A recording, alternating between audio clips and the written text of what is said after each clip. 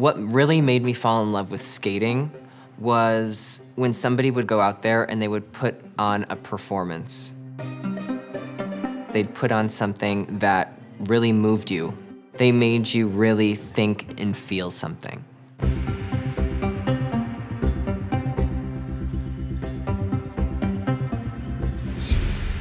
In skating, you have four minutes to show the judges, the audience, and at the Olympics, the entire world, who you are and what you're made of.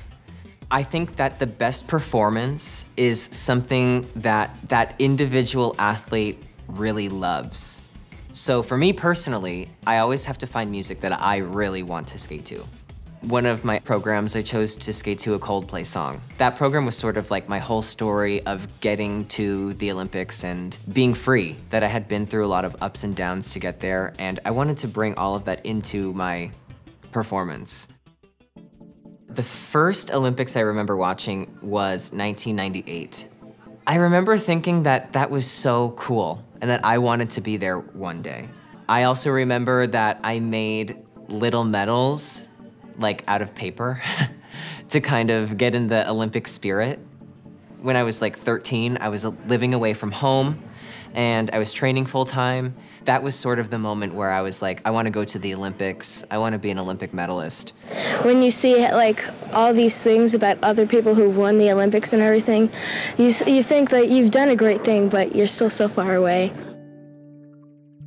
In 2010, I missed the Olympic team. I was sort of a dark horse to make that team anyway, but I'm really glad it didn't work out because I think in that moment where I felt my lowest and I felt the worst about myself, I needed to really dig deep and I needed to think, why am I even doing this to myself? I thought about it so much that I realized that my true passion was just being the best I could be every day.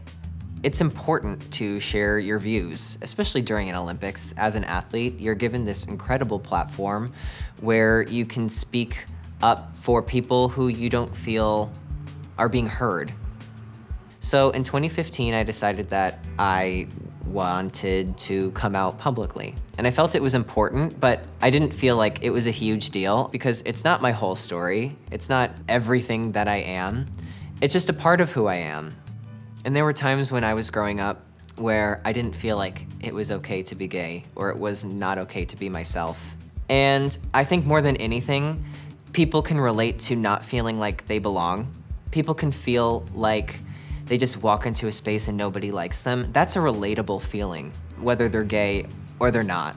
But no matter what, if you are really true to yourself, that's what's most important. That's when you feel your best as a person and it says like what event it was in, and then this is like the Olympics it's from.